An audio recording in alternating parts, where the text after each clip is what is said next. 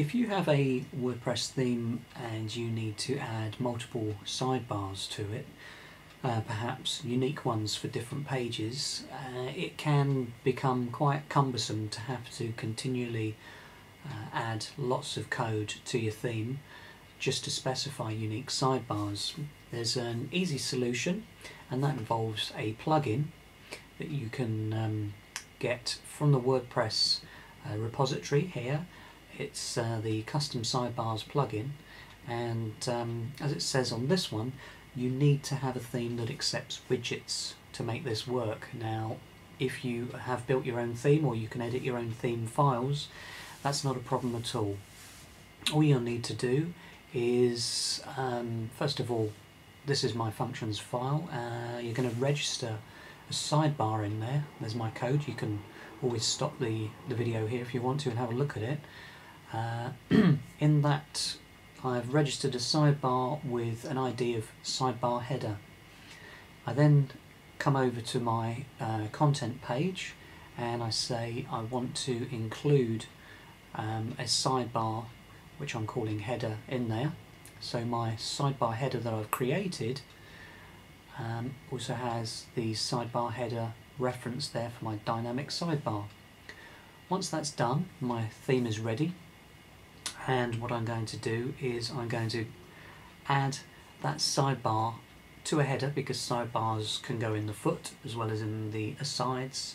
Uh, they can also go in header areas which you can widgetize and that's what I'm going to do on this particular theme. I'm going to have a image widget which I'm going to use. That's one um, by Modern Tribe. I'll show you that on the plugins page. And it's going to go above this title here. So the two widgets, that, uh, sorry, the two plugins, uh, the custom sidebars one by WPMU Dev and the image widget by Modern Tribe. They're the ones that you're going to be um, using if you're going to do the same as I am.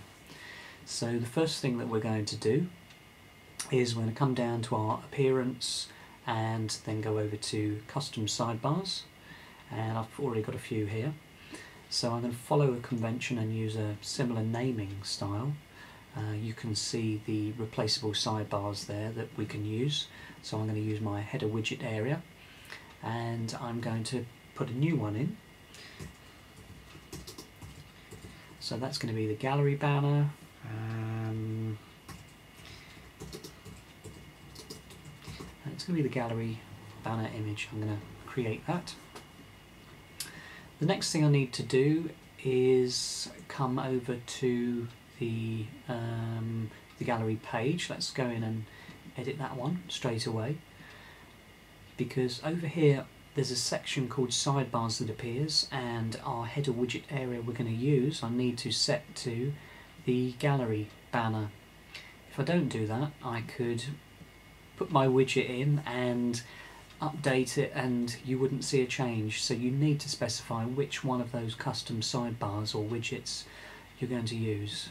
So I'm going to update that and come back to the page. You won't see anything has changed at this stage because the next thing I need to do is come over to my widgets and my new gallery banner image. I'm going to drag uh, an image widget in there and select that image and I'm going to upload one.